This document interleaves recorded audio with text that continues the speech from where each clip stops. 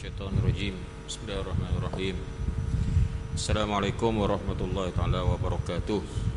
الحمد لله رب العالمين والصلاة والسلام على أشرف الأنبياء والمرسلين وعلى آله وأصحابه وأتباعه إلى يوم الدين. أما بعد رب اشرح لي صدري ويسر لي أمري واحلل عقدة من لساني يفقه قولي. اللهم افتح علينا فتوح العارفين.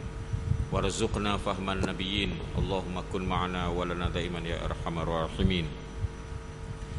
Hadirin dan hadirat serta pendengar yang saya kasih sekalian pada malam ini saya akan sambung beberapa isu lagi berkaitan dengan pengurusan jenazah terutama sekali yang membabitkan masalah pengkebumian jenazah iaitu perkara yang keempat yang wajib dilakukan ke atas mayat seseorang Islam uh, iaitu saya ulangnya itulah uh, pengkebumian jenazah. Dan pada minggu lepas uh, beberapa isu saya telah sentuh berhubung dengan pengkebumian jenazah. Jadi pada minggu ini saya sambunglah uh, sikit lagi berhubung dengan perkara ini. Yang pertamanya ialah berkenaan dengan uh, menghadap kiblat iaitu maksud saya ialah uh, jenazah mestilah menghadap kepada kiblat apabila dikebumikan. Tak boleh kita nak buat sebarangan. Tak boleh nak ikut kiri, nak ikut kanan, tak tak tak kira kiblat mana, sebelah sebelah mana-mana pun kita pakai je. Ha, itu tak boleh. Ha, itu bukan kubur Islam lah tu eh. Ha, kubur bukan Islam, dia ikut pandai dia lah eh. Ha, ada tag gitu, ada tag gini dan sebagainya. Jadi kita orang Islam ada adat-adatnya. Antara adat yang terpentingnya ialah mestilah menghadap kepada kiblat uh, apabila dikebumikan jenazah. Maksud saya jenazah itu mestilah menghadap kepada kiblat. Jadi menghadap kiblat jenazah ini apabila dikebumikan itu merupakan satu perkara yang wajib di sisi jumhur ulama termasuklah dalam uh, mazhab kita mazhab uh, Syafi'i uh, seperti yang saya baca dalam uh, kitab Ahkamul Maqabir yang dikarang oleh Abdullah Suhai apa Suhai Bali dia mengatakan bahawa hukum dia adalah Uh, di sisi jumhur dan juga syafi'i adalah uh, wajib. Berdasarkan kepada beberapa dalil antaranya ialah uh, disebutkan dalam hadis kubira Rasulullah sallallahu alaihi wasallam wa kubira Abu Bakrin wa kubira Umar ila al-qiblah ha, ini disebutkan begitu. Dikuburkan Rasulullah sallallahu alaihi wasallam dan dikuburkan Sayyidina Abu Bakar dan dikuburkan Sayyidina Umar ke arah kiblat. Nah, ini hadis ini ada disebut oleh Ibnu Hazmin Al-Andalusi dalam kitab dia Al-Muhalla. Jadi berdasarkan kepada perkara ini maka jelaslah bahawa menghadap kiblat itu adalah merupakan satu perkara yang wajib. Dan dikuatkan lagi dengan apa yang disebut oleh Sayyidina Umar radhiyallahu anhu. Di mana Sayyidina Umar mengatakan apabila Sayyidina Umar dia tengok apa nama ni uh, Kaabah Lalu Sayyidina Umar mengatakan ala hiyal ahjar, ala hiya illal ahjar. Tidaklah Kaabah ini melainkan batu-batu. Nasabahallahu qiblatan li ahyaina kata dia. Ya Allah Taala tegakkan di atas muka bumi untuk menjadi kiblat kepada orang-orang yang hidup. Wa nuwajjihu ilaiha mautana dan kita menghalakan muka jenazah ke arahnya apabila kita mengebumikan jenazah orang Islam. Ha, jadi berdasarkan kepada hadis ni, berdasarkan kepada asar kata-kata Sayyidina Umar ni dia mengatakan bahawa Kaabah tu Allah Taala buat untuk jadi kiblat kepada orang hidup. Jadi kiblat kepada orang hidup umpamanya semayang wajib kita menghadap kiblat dan juga gunanya adalah untuk kita hadapkan uh, apa nama ni orang-orang yang telah mati apabila kita mengebumikannya ke arah uh, kiblat itu. Nuwajjih ilaiha wa nuwajjihu ilaiha mautana. Ha, kita menghalakan orang mati itu ke arah kiblat jadi berdasarkan kepada apa yang disebut oleh Sayyidina Umar dan uh, tadi disebutkan bahawa Rasulullah telah dikebumikan dalam keadaan menghadap kiblat begitu juga dengan Sayyidina Abu Bakar, Sayyidina Umar dan seterusnya sahabat-sahabat yang lain maka pendapat jumhur mengatakan hukum dia adalah wajib dan ini juga adalah masuk dalam mazhab Syafi'i di sana ada pandangan kedua yang dikemukakan oleh ulama-ulama daripada mazhab Hanafi dan juga Maliki. Ha, ini sebagai pengetahuan saja, bukan untuk kita amal ya. Dia mengatakan hukum di sunat sahaja. Kita menghalakan uh, apa nama ni mayat itu ke arah kiblat. Ha, sunat je. Ha, dan dalil dia sama juga. Dalil dia hak saya baca tadi juga. Cuma dia dia faham daripada dalil-dalil tersebut daripada hadis-hadis yang saya bacakan tadi itu dia orang faham. Ulama-ulama daripada mazhab Hanafi dan juga Maliki dia faham ditafsirkan uh, bahawa hadis-hadis itu sebenarnya bukan menunjukkan wajib tetapi menunjukkan kepada sunat. Ha, menunjukkan kepada sunat. Qiblatukum ahya'an ha, wa amwatan tak kiblat kamu untuk orang hidup dan juga orang mati. Mana sunat je. Sebab ngadak kiblat ni bukan semua wajib. Tak, kita semayang wajib lah. Tapi kalau kita nak baca Quran sunat je. Kalau kita berdoa dalam kitab Mau'izatul Mu'minin Mengatakan sunat sahaja Kita menghadap kiblat ketika berdoa. Tak? Ha, jadi banyak yang sunat. Ha, Yang ni satu je Iaitulah semayang. Jadi semayang tu ada nas yang ter, tersendiri Iaitulah, iaitulah Rasulullah apa? Allah Subhanahu Wa Taala sebutkan dalam Al-Quran Fawalli wajhaka syatral masjidil haram hadapkan muka kamu ke arah kiblat apabila kamu semayang. Jadi ada dalil khusus untuk semayang, maka semayang saja yang wajib. Kena dihadapkan ke arah kiblat. Hak lain tak wajib. Ha, hak lain tak wajib, jatuh kepada sunat saja, termasuklah perkara yang membabitkan mengkebumikan jenazah orang Islam. Ini pandangan yang kedua ha, yang saya sebutkan. Jadi pandangan kedua ni kita dah amal lah. Kita amal pandangan pertama, kata wajib. Eh, ha, kita pakai pandangan pertama yang kata wajib ha, itulah yang lebih selamat dan itulah mazhab kita mazhab syafi'i ada pun orang kata sunat tadi sebagai pengetahuan ha? pengetahuan umum sahaja apabila disebutkan mengadap kiblat ni kita nak mengadap kiblat mayat ni ke arah mana seperti yang saya rasa saya pernah sebut dah dulu ke mungkin minggu lepas gitulah lebih kurang iaitulah kita nak mengadap kiblat ni adakah uh, apa nama ni uh, di di sebelah kita apa kita pusingkan mayat itu makna dia mayat itu uh, berbaring di atas di atas apa panggil ni? Di atas bahunya yang yang sebelah yang sebelah kanan ataupun di atas bahunya yang sebelah kiri. Ha, kalau bahasa lama dia panggil lambung. Atas lambung belah kanan ke ataupun lambung belah kiri jadi sepakat ulama mengatakan bahawa sunat di sebelah dijatuhkan bahu di sebelah kanan. Macam macam kita buat sekarang lah. Ha, macam kita buat sekarang ni betul lah tu eh? Ha, itulah yang lebih baik. Tetapi kalau sekiranya orang tu dia nak pusing dia nak dia nak ada kiblat juga tapi kepala mayat itu ke sebelah kanan dia eh, ke sebelah kiri dia. Maksudnya yang jatuh tu lambung sebelah kiri. Apa hukum dia? Sah juga tu maknanya menghadap kiblat lagi tapi khilaful aula khilaful aula ni dak apa molek ha jadi kita nak yang terbaik. Kita nak ikut sunnah Rasulullah sallallahu alaihi wasallam. Dalam semua perkara kita nak ikut sunnah Rasulullah sallallahu alaihi wasallam. Jadi janganlah kalau kecil-kecil begitu pun kita tak ikut dah. Ha, besar-besar makin tak ikutlah kita ni. Ha, jadi kita kena ikutlah walaupun benda tu kecil sahaja ha, tapi kita ikutlah sunnah yang disebutkan itu. Jadi boleh jadi orang kata menghadap kiblat ni dalam apalah termasuklah dalam uh, mengemunyikan jenazah ataupun dalam semayang dan sebagainya ada juga baru ni saya terbaca baru rasa-rasanya dalam seminggu begitulah ha, lebih kurang terbaca mengatakan bahawa ada orang yang bukan Islam mengatakan Islam ni adalah agama yang tidak menyembah berhala. Tapi macam mana pula pergi ngadap Kaabah? Tidak ke Kaabah itu adalah batu-batu yang juga boleh dianggap sebagai satu sembahan selain daripada Allah Subhanahu Wa Taala. Okey. Jadi ada syubhat-syubhat yang sebegitu Sebenarnya ngadak kiblat ni arahan Allah Subhanahu wa taala. Terpulanglah kepada Allah nak pilih mana satu. Di peringkat awalnya kalau saya baca dalam tafsir Al-Munir disebutkan di peringkat awalnya kiblat tu ke arah Baitul Maqdis. Ke arah Masjid Al-Aqsa ataupun lebih khusus lagi ke arah Asy-Syakhrah Al-Musarrafah. As-Sakhrah Al-Musarrafah batu. Batu yang bawah Masjid Masjid Aqsa yang warna kuning itulah. Ha, yang enam segi tu masjid enam segi tu.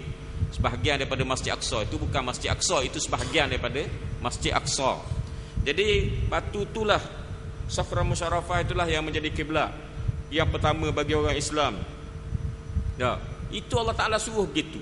Kemudian Allah Taala suruh pusing ke sebelah sana pula ke Kaabah. Wali wajhaka syatral masjidil haram. Pusing ke arah Kaabah. Kita ikut saja perintah daripada Allah Subhanahu wa taala.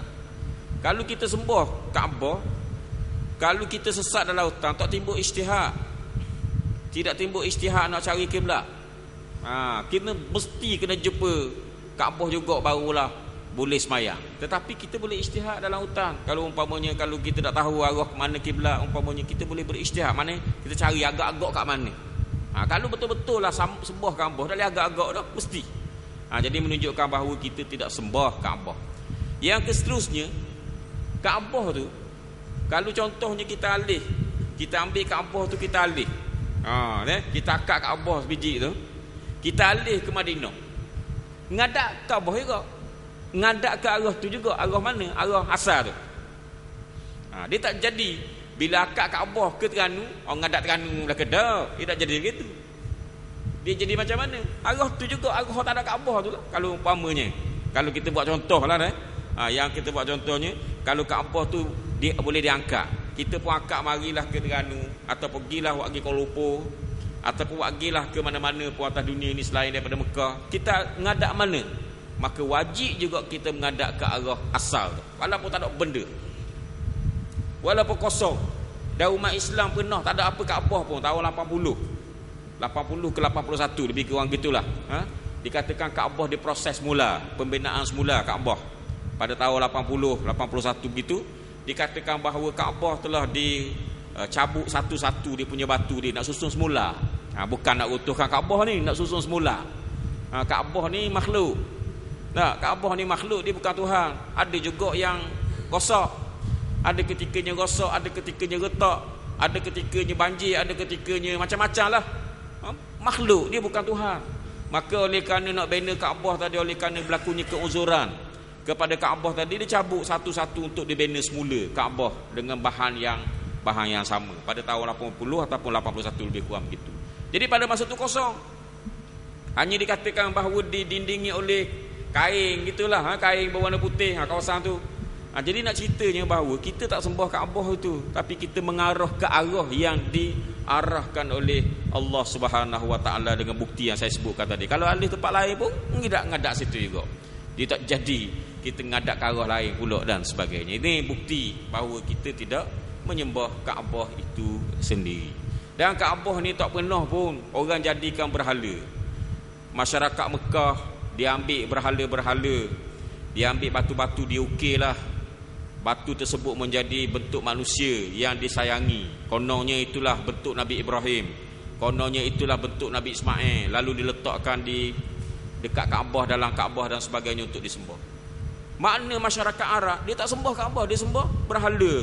Menunjukkan bahawa Kaabah ni kalau sujud ke arah tu tak jadilah satu benda yang orang panggil menyengutukan Allah Subhanahu wa taala. Jadi itulah uh, yang sebenarnya berhubung dengan uh, Kaabah ni. Jadi itu jangan-jangan kita keliru pula kadang-kadang bimbang juga. Sekarang ni musim orang nak rosakkan Islam macam-macam cara ni. Nak rosak Islam kan dengan cara masukkan elemen-elemen yang bercanggah dengan Islam golongan anti hadisnya golongan syiahnya tak ha, golongan macam-macam lah nak masuk pula ni benda-benda yang sebegini pula isu-isu yang macam ni lah ha, seolah-olah macam Islam ni menyembah berhala juga dan sebagainya itulah ha, sebahagian daripada hujah-hujah yang uh, dapat saya sebutkan kemudian kita terus lagi kepada ni kepada apa nama ni uh, kepada uh, proses perkebumian jenazah ni. Apabila kita nak kebumikan jenazah kita tak boleh nak masukkan jenazah tu sebarangan. Dia ada adat-adat dia. Dalam kubur lah maksud saya ni. Jadi di antara adatnya disebutkan dalam apa nama ni oleh sebahagian daripada ulama termasuk mazhab syafi'i dan juga daripada pandangan uh, sebahagian daripada mazhab hambali mengatakan bahawa kalau kita nak masukkan mayat dalam kubur tadi hendaklah kita masukkan melalui melalui ni melalui apa nama kaki kubur. Faham tak kaki kubur? Bukan kepala kubur. Kaki kubur tu arah kaki lah arah kaki mayat. Ha, arah kaki mayat. Jadi kita ambil mayat tadi kita buat pergi ke arah kaki kemudian kita pun buat masuk mayat tu dalam kubur sikit demi sedikit sehinggalah sampai ke bahagian kepala dia iaitu uh, sebelah sebelah kanan kita lah kalau kita menghadap kiblat Ha, kalau kita menghadap kiblat tu sebelah kanan kita. Mana kita ambil, kita susul sikit-sikit daripada sebelah kaki tu. Ha, mayat tu tak kaki mayat tu kita duk akad lah ha, kaki kaki mayat mana ni uh, orang panggil kubur tu lah ha? dalam kubur yang diletakkan bahagian kaki tu kita masukkan situ. Kita masuk selo-selo kita akak sehinggalah sampai kepada dalam kubur. Lalu kita pusinglah mayat tadi ke arah kiblat. Ha, itu yang tercatat dalam kitab Om. Dan juga itu yang tercatat dalam kitab Al-Muhni yang ditulis oleh Ibnu Qudamah dalam mazhab Hanafi. Ha, itulah ha? lepas tu pandangan yang kedua pula mengatakan bahawa kalau kita nak masukkan mayat tadi nak ceritanya Islam ni sampai begitulah hadaknya Iaitulah pandangan kedua daripada mazhab Hanafi dan juga mazhab Maliki. Mengatakan bahawa kalau kita nak masukkan mayat dalam kubur tadi kita disunatkan letak mayat dulu di bahagian hadapan di hadapan dah hadapan apa? Hadapan uh, kubur. Ha. kita letak dulu bahagian hadapan kubur. Maknanya ngadap kiblat tu lah. Ha, ini lubang kubur ha, ni kiblatnya ha, kita letak depan tu dulu depan uh, sebelum daripada mulut kubur itu eh? kemudian Orang yang bertugas nak turunkan mayat tadi turunlah dalam kubur. Bila dia turun dalam kubur dia ambil mayat itu daripada pihak kiblat tadi dia pun usunglah sampai ke dalam kubur. Nampak tak? Faham tak ni? oh, faham beres ha? Ada masalah payah nak cerita begitu nak nak, nak sebut arah-arah tu payah nak cerita dah. Oh, kena pandai bahasa Malaysia betul dah. Okey. Jadi kita letak mayat saya ulang lah takut salah faham. Setengah orang faham, setengah orang tak faham kan? Jadi kita letak mayat aku tu dulu uh, di bahagian depan kubur tu ha, kemudian orang yang bertugas nak nak apa nak nak tanam mayat tadi dia ambil dia ambil mayat tadi ataupun diunjuk mayat itu daripada pihak itu. Ha, pihak hadapan kubur tadi buat masuk. Kok tepi kubur lah maksudnya? Tepi bahagian depan. Ha, tepi bahagian depan atau tepi bahagian kiblat itu kemudian buat masuk dalam kubur uh, slow-slow maka diletakkan mayat dalam lubang lahat ataupun uh, kanda mayat dan sebagainya itulah uh, pandangan kedua yang dikemukakan oleh uh, ulama-ulama daripada mazhab Hanafi dan juga Maliki. Jadi dua-dua hujah di dua-dua pandangan ni ada belaka hujah.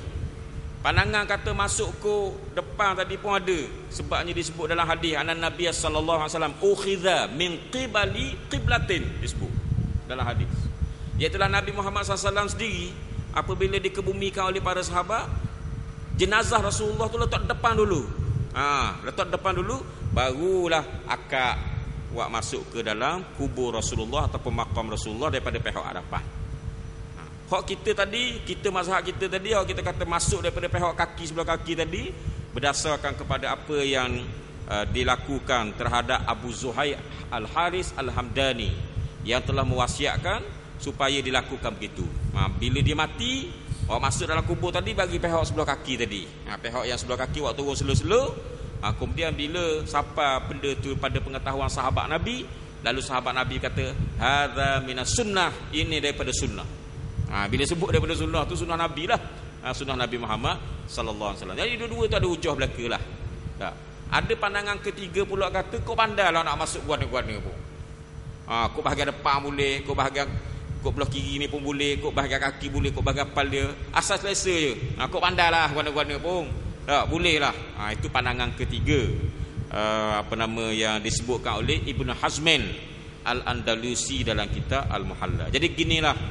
Kita ni kadang-kadang bila sampai kubur tu dah ingat dah benda-benda gini dah, dah mikir dah nak masuk kubur mana ikut senang kan nak buat kat ni kan susah pula rasa. Tak ha, maklum lah kadang-kadang kubur tu gali kubur sepik kadang-kadang gali kubur luar. Nak buat kat ni kan uh, apa nama susah dan sebagainya. Ginilah kita pakai pandangan ketiga senang kau lah asal asal jadi. Asal tanah orang mati kau mana masuk pun kau lah. Uh, pandangan Ibnu Hazmin Al-Andalusi. Tapi kalau kita dah mikir dalam keadaan kubur tu luah molek tak ada gangguan batu nesang sebelah-sebelah tu dan sebagainya ha, kita ikutlah pandangan orang yang mengatakan masuk daripada pihak sebelah kaki tadi. Ha, itu yang terbaik. Rasa-rasa dah dah mikir dah dah eh, dah, dah, dah mikir nak selesai dah ni. Tak. Ha, nak selesai dah. Uh, tengah hari dah umpamanya dah. Jadi itulah yang menjadi. Tapi tak apa tak ada masalah benda tu benda yang kecil sangat uh, tidak ada isu sangat uh, dalam dalam masalah kita, dalam masyarakat kita kemudian yang seterusnya ialah bila kita letakkan mayat dalam kubur tadi adakah kita nak letakkan jadi biasalah kepala tu kepala kan kepala mayat tadi adakah kita nak letakkan sesuatu supaya dia sama sterik Uh, dengan keadaan tubuh tadi ataupun kita biar begitu je. Ha, kalau biar begitu dia teleng kan dia jadi dah. Ha, dia teleng. Jadi dalam hal ni ada dua pandangan pula. Ha, dalam hal ni dua pandangan. Pandangan yang pertama termasuklah mazhab kita ni kata dan termasuk juga mazhab lain lah. Mazhab Maliki dengan mazhab Ambali, mazhab Syafi'i pun kata gitu juga. Ambali dengan Maliki kemudian Syafi'i kita bahawa kita letaklah apa-apa dekat kepala ni. Ha, letaklah apa-apa dekat kepala kita Allah macam bata. Ikutlah nak letak apa pun. Nak letak batu pun boleh, nak letak uh, apa apa ni uh, tanah pun boleh. Ha, ikut pandai kita lah. Ha, jadi itu uh, apa nama boleh kita letak bahkan benda itu sunat. Bisyai'il bisyai'il murtafa' dia panggil. Dengan satu benda yang tinggi sikit supaya daklah kolek ha daklah kolek tapi walau macam mana pun di sana ada pandangan kedua. Yang mengatakan bahawa uh, tak payah. Ha, payah biar kolek-kolek lagi lah. Gitu biarlah di dalam kubur dah dan sebagainya. Ha, jadi itu tak apalah kita tak, tak akalah ha, pandangan tersebut. Okay. kemudian bila kita nak tanang jenazah tadi kalau kita belajar pengurusan jenazah dia ada kita ikat mayat tu tak? Bila dah kapang kita ikat mayat biasanya kita ikat mayat bahagian atas. Ha, biasanya orang letak kain kapang tu antara dua kaki ataupun sekaki setengah daripada saeh daripada arah kepala kemudian sekaki setengah ataupun dua kaki daripada uh, sebelah kaki. Ha, sebelah kaki dan sebelah kepala. Maknanya dia lebih belah atas kepala tu sekaki setengah kalau belah bawah tu sekaki setengah ataupun dua kaki. Buatlah angka orang dan biasanya bila dah selesai dah kapang, biasanya kita kita akan ikatlah bahagian kepala, bahagian kaki tadi.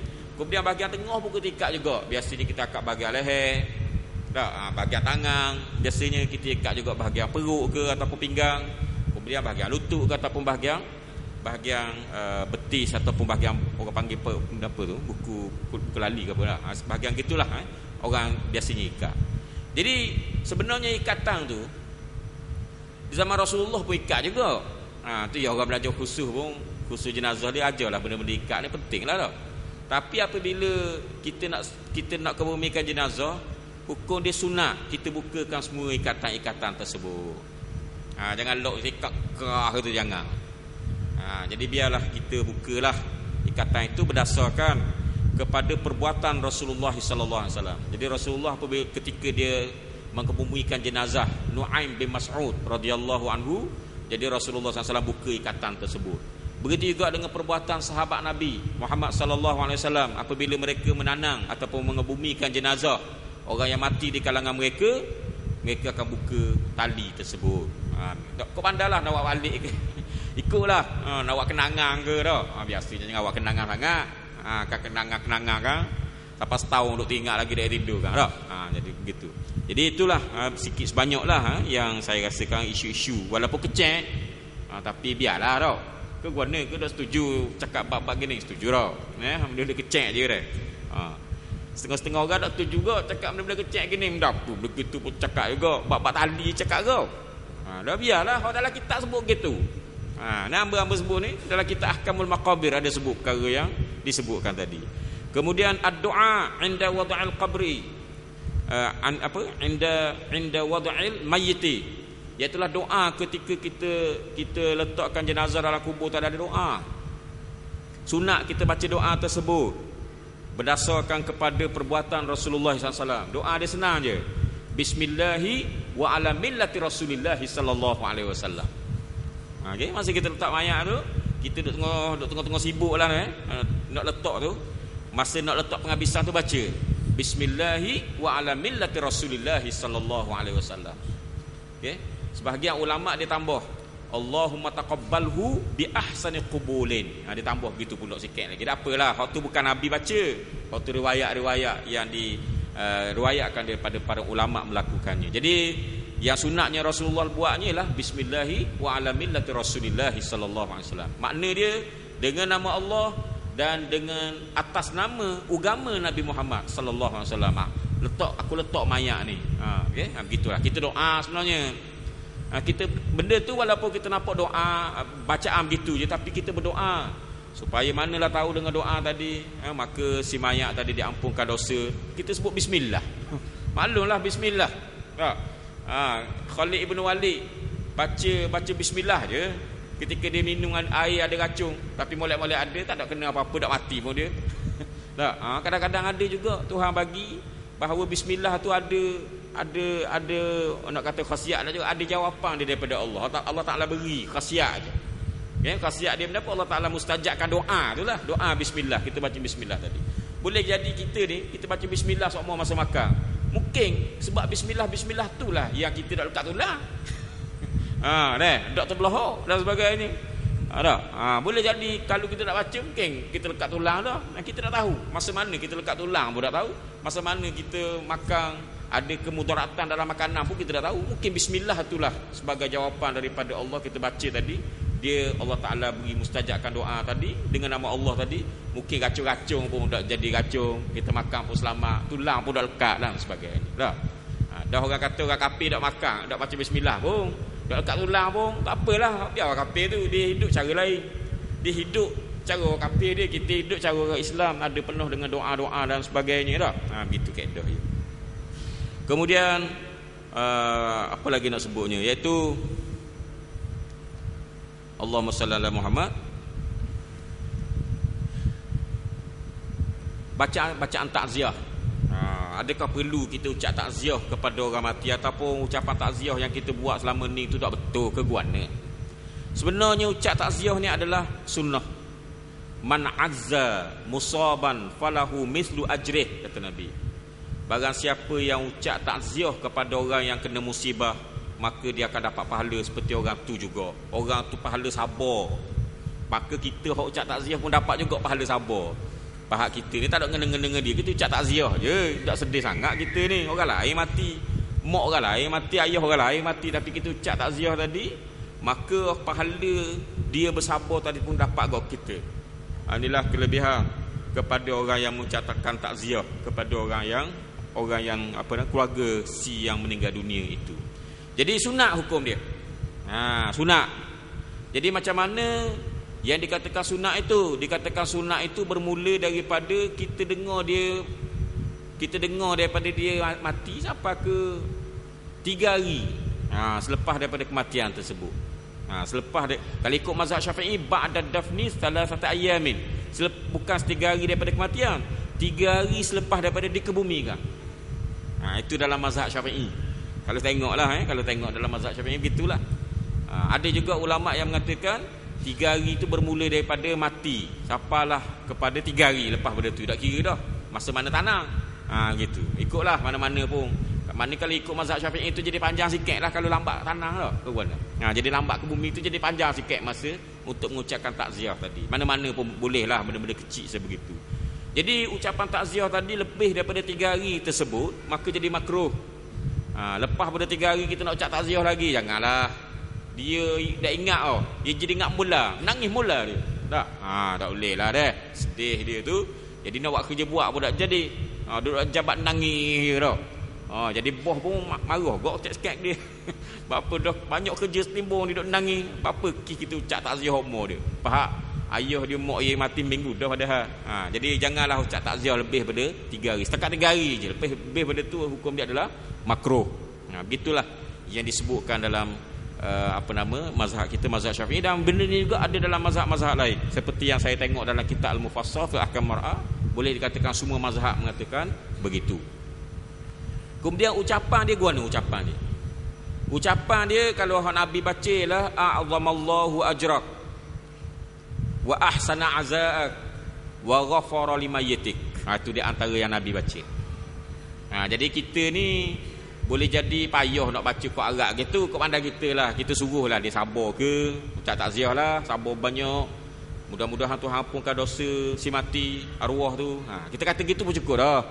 Tapi kalau kita nak ikut yang terbaik ikut sunnah nabi kita baca hak lafaz. Di antara lafaz yang diriwayatkan ialah nabi kata a'zamallahu ajrak.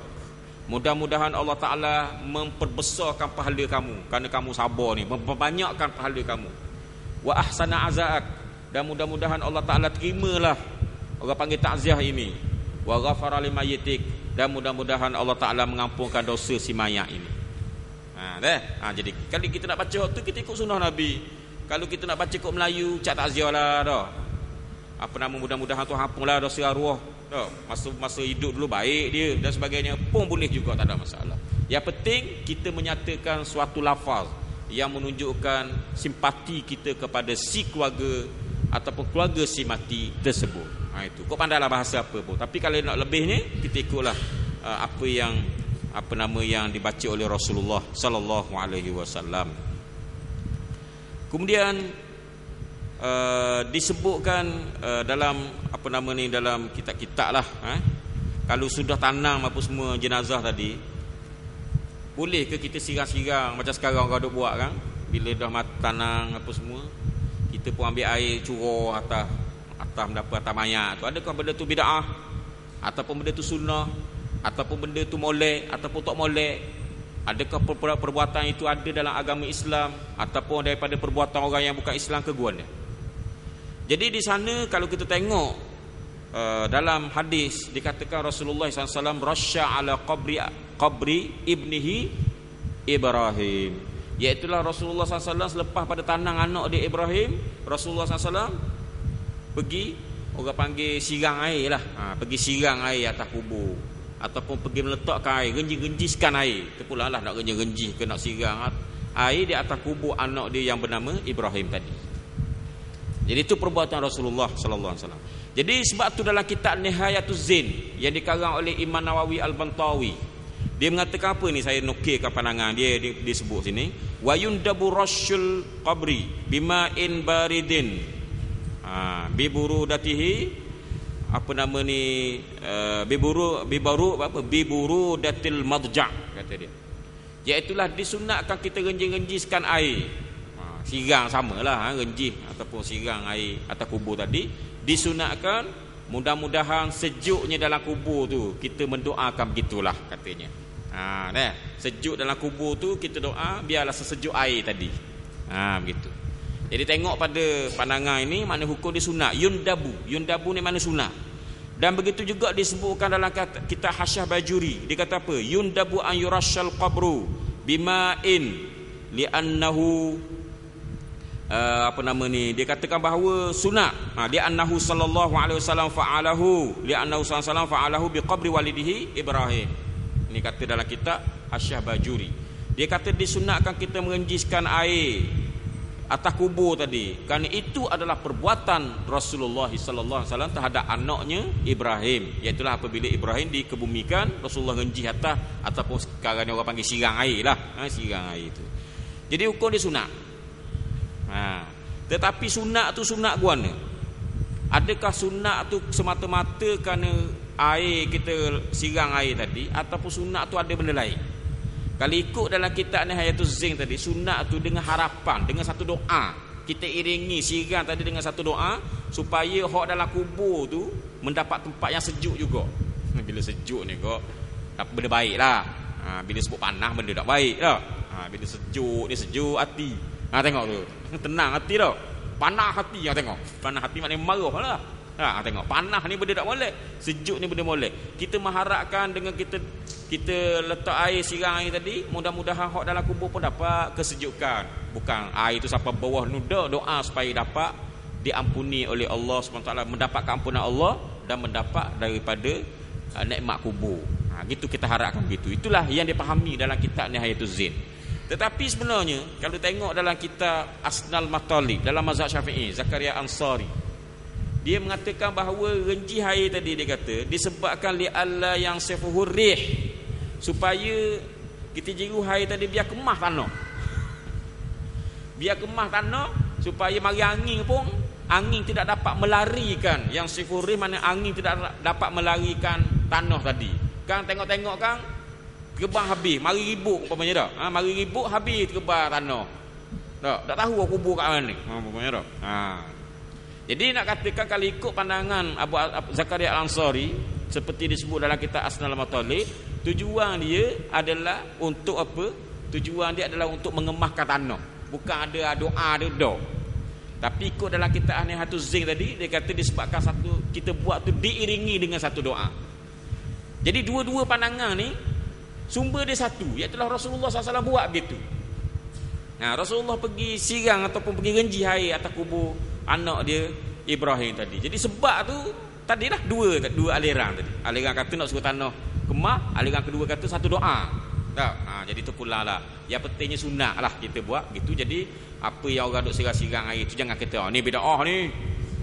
Ha, ni sesak ni. Ha, janganlah mulut tu jagalah sikit. Ha, bacalah kitab dulu. Ha, janganlah duk degah sangat duk ukur ni bid'ah, pah bid'ah, bid'ah apa sunnah. Tak ada sunnah langsung. Dah. Ha, jadi kita pun tengok kita. Kita tengok pandangan ulama kata guana barulah kita menghukum sesuatu perkara itu sama ada sunat ke makruh ke haram ke wajib ke bid'ah dan sebagainya. Dah ha, begitu. Jadi dalam isu ni hukum dia adalah sunat cuma ada satu lagi yang dibincangkan oleh para ulama iaitu boleh tak kita pergi capu air tadi dengan wangi-wangian kita capu dengan bunga-bunga biar wangi sikit air tu tak biar bau harum gitu tak ha, itu ada dua pandangan Ha, okay, dua pandangan. Pandangan pertama kata harus, tidak kata sunat harus je. Ha, ini pandangan Imam Nawawi Al-Bantawi tadi dalam kitab Nihayatul Zain. Ha, dia kata sunat apa? Dia kata uh, mustahabun. Ha, mustahabun maknanya uh, harus apa? Mustahabun apa? Mustahabun ni sunat. Ha, sunat. Ha, kalau ikut tafsiran dia kata adalah sunat. Tetapi kalau ikut Imam Bajuri dalam kitab Hasya Bajuri, dia mengatakan hukum dia adalah harus. Ha, harus. Tak, harus. Kemudian ada satu pandangan lagi mengatakan hukum dia adalah makruh. Ha, jadi hukum dia adalah makruh. Jadi hak wangi tadi, apa pula yang jadi moleknya ikut pandangan Imam Nawawi Bantawi tadi? Sebab dia kata fa innal malaikata tuhibbu ar-rih at-tayyib. Dia kata sebabnya malaikat suka kepada warna pada bau sedap-sedap ni. Ha, jadi kita rai ke malaikat rupanya dah. Ha, jadi ikut pandalah. Jadi benda tu benda yang kecil-kecil lah ha, Bukanlah benda-benda yang besar sangat ha, Itu pula lah kepada kita nak pakai hak mana Sekalipun boleh belaka dah ha, begitu. Kemudian uh, Apa lagi isunya yang berkaitannya Iaitulah Apa hukum dia kita letak bunga pula? Duk tabur bunga. Ha, Tabur bunga sekara. Hak sekara lagi Duk ui bunga. Hak bunga siap dah. Ha, gitu dah. Ha, Bunga siap dah letak kat kubur gitu. Adalah disusun dah gitu macam ke macam ke apa panggil belah pegang belah kiri belah kanan ini. Ada tempat nyakuk dan sebagainya. Ha, dia letak kat kubur apa hukum dia? Ada dua isu tu lah satu letak bunga gitu dah. Jadi sebenarnya dalam hadis mengatakan Rasulullah SAW pernah lalu ke dua kubur di mana kedua-dua kubur tadi dia katakan bahawa Rasulullah mengatakan innahuma la yu'adzaban wa la yu'adzabana fi kabirin kata Rasulullah wa la yu'adzabani fi kabirin Dua-dua ahli kubur ni sedang diazab. Tetapi bukan diazabkan sebab dosa besar dak, dosa kecil je. Dosa yang pertamanya ialah kenapa? Dosa yang pertamanya ialah fa oh yang pertama tu ialah fa innahu la yastanzihu minal baul. Dia tak bersih kecil. Tak bersih kecil tu macam-macam tafsiran lah. Ada mengatakan tak dang habis kecil ke basuh dah. Eh, ha, ada mengatakan tak jaga air kecing. Macam-macam lah. Tak jaga air kecing daripada najis kecing itu. Titik-titik dan sebagainya. Ha, macam-macam tafsir. Yang kedua pula ialah orang lelaki yang seorang lelaki ataupun seorang perempuan yang mana yang kubur ahli kubur tadilah eh, dia ni adalah seorang yang suka buat ngacung. Buat ngacung. Jadi dia pergi sini dia ngacung, dia muduh orang ni, dia jumpa pula orang ni dia menuduhkan orang pertama, orang dia jumpa orang pertama dia menuduhkan orang yang kedua dan sebagainya. Akhirnya dia akan jadi puak beranda masyarakat baloh antara satu sama lain. Nah, jadi dua-dua ni masuk dalam kubur kena azab oleh Allah Subhanahu wa taala. Lalu dikatakan Rasulullah SAW ambil pelepah tama Rasulullah letak dekat kedua-dua kubur tadi ha, Kemudian dikatakan uh, Rasulullah kata fa'innahu yukhaffafu hatta uh, Apa nama disebutkan dalam hadis Malam ya bisa kata Rasulullah. Iaitulah Rasulullah mengatakan Bahawa mudah-mudahan direngankan azab kedua-dua ini Selagi mana tidak kering. Ini punya pelepah tama tadi. Ha, pelepah tama selagi mana tak kering, selagi itulah insya-Allah pelepah tama tadi berzikir kepada Allah, ada beri juga uh, orang panggil zikir-zikir tadi ruang kepada hak dalam kubur mendapat uh, kerenganan. Ha, kerenganan dalam azab kubur itu sendiri. Ha, jadi itu asasnya. Jadi sekarang ni macam mana tu? Adakah kita nak kata bunga pun gitu juga ke guana? Ha, jadi kalau tengok kepada kitab i'anatu talibin dikata wa yusannu wad'u jaridatin khadra 'alal qabri littiba kalau nak ikutnya dia kata jaridah jaridah ni macam ranting lah ha, yang hijau lagi ha, yang hijau lagi atas kubur littiba untuk kita mengikut sunnah Nabi Muhammad sallallahu alaihi wasallam tadi. Tak? Ha, begitu. Sebab apa? Dia apa-apa yang hidup ni dia masih berzikir kepada Allah. Jadi kalau kita nak kiaskan kata-kata dalam kitab Anatul Talibin dia kata waqi sabiha ma'ti apa ma'u'tida min apa nama min adatin. Ha, min adatin nas nahwa raihin nahwa raihani ar-ratab. Dia kata dikiaskan daripada situ apa yang menjadi adat kepada masyarakat seperti bunga-bunga yang sedap bau. Ha, okay? bunga-bunga pun boleh. Jadi kalau tengok pada yang atau talibin ni dia membenarkanlah bunga-bunga. Selagi mana bunga-bunga tu toklah layu. Ha, hak hidup molek lah jangan bunga kalau bunga plastik tu memang dah layu setahun dah layu lagi ramanya dah. Ni bunga betul lah. Ha, jadi kita letak tu sebab bunga-bunga tu masih berzikir kepada Allah. Mudah-mudahan hak dalam kubur tu sikit sebanyak dapat keberkatan zikir hak bahagian atas diletakkan bahagian atas ni akhirnya mendapat keampunan daripada Allah Subhanahu wa taala. Kemudian disebutkan dalam kitab Al-Fatawa Al-Hindiyah. Ha, Fatawa Hindiyah disebut apa? Wad'ul wurudi war raya war rayahin alal qabri hasanun. Wa in tasaddaqa biqimatil wardi kana ahsan. Dia kata meletakkan bunga-bunga di atas kubur bagus. Ha, dia sebut tak tengah bunga tu. Buruk bunga-bunga apa bunga mawar dah. Ha, itu adalah bagus. Dan kalau sekiranya dia bersedekahkan dengan nilai duit tadi dia hadiahkan pahala itu pada si mati maka itu adalah lebih bagus pula. Ada dua perkara Iaitu yang pertama dia letak bunga-bunga tu sekali. Tadi apa? Bunga-bunga tata kubur. Insya-Allah bunga-bunga tu selagi tak layu akan berzikir pada Allah. Mudah-mudahan hak dalam kubur pun dapat jugalah kesan zikir tadi dapat nikmat kubur ataupun diampunkan oleh Allah Subhanahu wa taala. Yang keduanya boleh pula niat sedekah. Sedekah apa nama ni uh, daripada pahala kita beli tadi. Ha dah. Ha boleh jadi kita beli harga mahal sikit kita niat sedekah kepada penjual maka kita niat juga sedekah tadi untuk kita hadiahkan kepada si mati. Ha, dah? Ha, maka itu pun akan dapat juga pahala di sisi Allah Subhanahu wa taala. Eh begitulah. Kemudian ada juga pandangan kedua yang mengatakan bahawa sebenarnya hak yang Rasulullah buat itu adalah khusus untuk Rasulullah SAW saja. Orang lain tak boleh nak share sekali. Ha, itu ada dalam pandangan tu mengatakan bahawa tak sunat lah. Ha, tak sunat kita letak bunga letak apa-apa yang seperti pelepah tamu tadi tak sunat kita letak atas kubur. Yang dibuat oleh Rasulullah SAW tadi hanyalah sebagai satu benda yang khusus untuk Rasulullah. Sebab Rasulullah ni tabiat dia ialah pemberi syafaat. Jadi kita ni pemberi syafaat juga. Do oh jangan buat jangan ikut lah. itu khusus untuk Rasulullah saja. Sallallahu alaihi wasallam. Eh? Ha, faham maksud saya eh? Ha, benda tu Rasulullah je yang boleh. Sebab Rasulullah ni ada mukjizat dia Rasulullah tahu dalam kena azab kubur dan Rasulullah juga pemberi syafaat. Kita tak ada mukjizat, kita tak tahu hak dalam kubur berlaku apa, kita tak pemberi syafaat. Tiba-tiba kita nak buat juga letak bunga-bunga gitu ikut Rasulullah. Tak. Tak tak sunat. Ha, tak sunat. Ini pandangan kedua. Ada disebutkan dalam kitab Fathul Bari. Ha, ada disebutkan dalam kitab Fathul Bari. Jadi uh, saya rasa saya berhenti situlah ya. Isu-isu sikit-sikit lah isu kecek-kecek je. Malam ni isu-isu kecek-kecek. Walaupun begitu tapi mudah-mudahan adalah manfaat ha, untuk kita semua. Bismillahirrahmanirrahim. Alhamdulillah Rabbil Alamin. Wassalatu wassalamu silah Wa ala alihi wa sahbihi ajma'in. Allah maghfir lana warhamna wa tub alaina wa fiqna wa ahdina wa atina min ladunka rahmah wa hayyi lana min amrina rasyada walhamdulillah rabbil alamin. Taqabbalallahu